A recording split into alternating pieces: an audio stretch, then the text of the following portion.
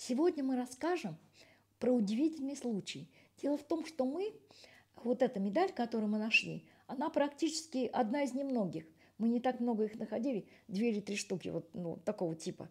Ну и то за отвагу номерная – это единственная медаль, которую мы нашли номерную. До этого у нас были какие-то вот знаки типа э, РКК, вот такой знак. Но они все такие покоцанные, что там ловить было совершенно нечего, чтобы как-то их идентифицировать, понимаешь?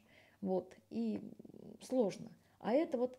Дело в том, что в Лугу мы начали ездить, это с 91-92 года, у нас там уникальный был человек, Шиц.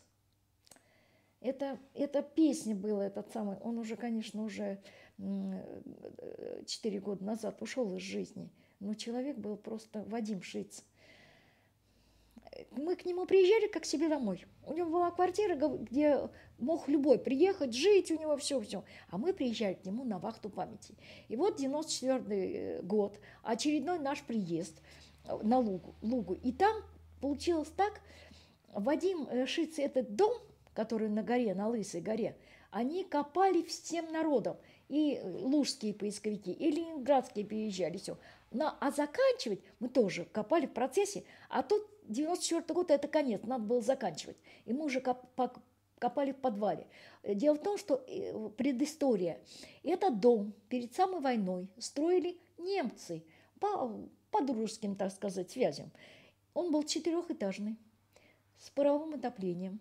Внизу, в подвале, был котел, который и делал это паровое отопление по европейским меркам, так сказать. Это был дом.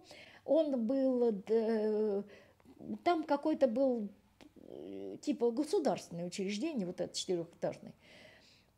Во время началась война. Понятно, что там заселилось в этот дом командование какое-то немецкое было. В феврале, в конце февраля 1944 года Лугу освобождают. И там немцы выгнали, и в этом четырехэтажном доме там вокруг везде просто свои домишки, типа деревни.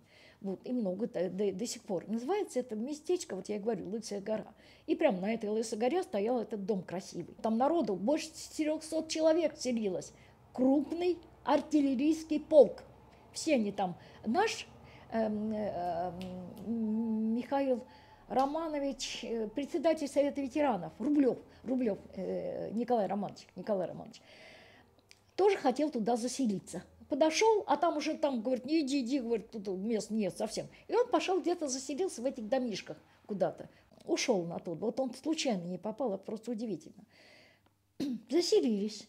И в ночь, после того, как они заселились, взрывается фугас, который был под котлом парового отопления в этом доме. Его наши минеры, потому что котел железный, просмотрели. Они просто не досмотрели. Ну, дом, причем сильнейший был фугас. Этот котел, там вот э, стоит лысая гора и течет ручеек. Он перелетел. Этот ручей, котел был за ручьем метров, наверное, 600. Вы представляете, какой взрыв силы был? И начинает гореть Самое главное, что там были солдаты с вооружением. У кого были гранаты, у кого, может, даже и снаряды там были. Толком-то ведь артиллерийская часть, может, они и снаряды где-то внизу сложили. Поэтому от него ничего не осталось. И он горел несколько дней. Самое главное, что командир этой части э, был на свидании. И дежурный тоже, он чуть-чуть отошел, и они остались живы, так их потом расстреляли. Потому что они не попали в общее число погибших. Представляешь? Какой был, вот какой суровый закон войны. Ну, мы копаем, копаем, народу много, причем э, дом горел, и солдатские косточки, все вот такие, как белая бумага, и некоторые рассыпались, было очень тяжело поднимать останки этих солдат, которые там погибли.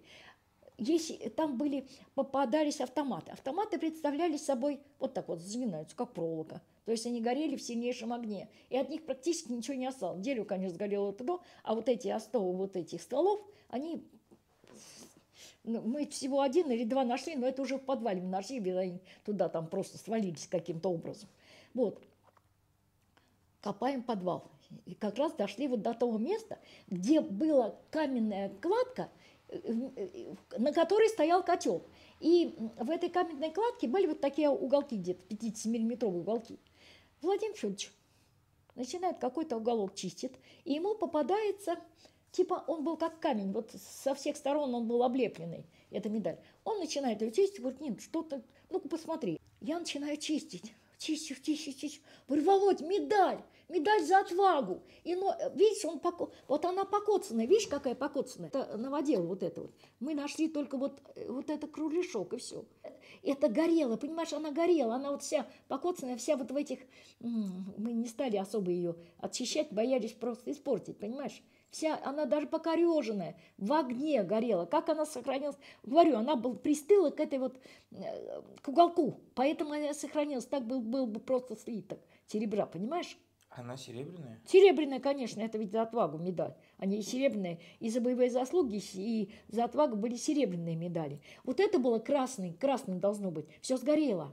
И за отвагу красным, там эмаль красная была чуть-чуть. Она все это сгорела, конечно. Вон вверх, вверху самолеты летят. Сразу мы послали это самое в Подольск. И из Подольска нам пришла бумага, что э, владелец этой медали Холмогоров Егор Иванович – 1913 года рождения. Родился он в Удмуртской ССР, Боткинский район, Багуринский сельский совет, деревня Харахоры.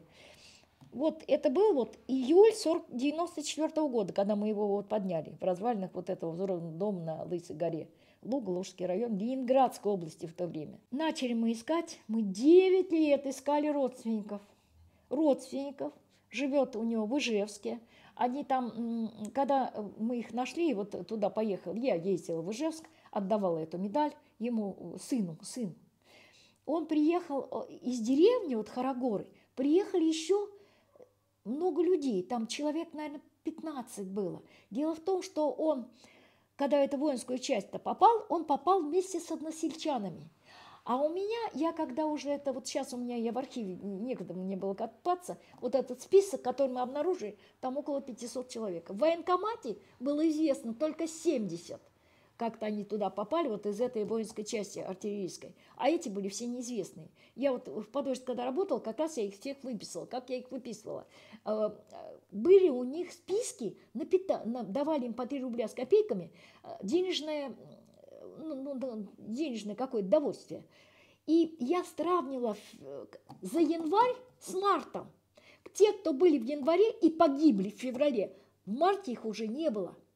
И вот из-за этого, я тебе говорю, больше 400 человек мы нашли. Представляешь, какой список по одной медали всего? Мы его восстановили, погибших. И в этой деревне не знали, он был пропавший без вести. Вот Холмогоров, он был пропавший без вести. И вместе с односельчанами, они вместе с ним там воевали, он был связистом. А остальные там, ну кто связист, меня с собой список-то привезла, когда я поехала в Ижевск.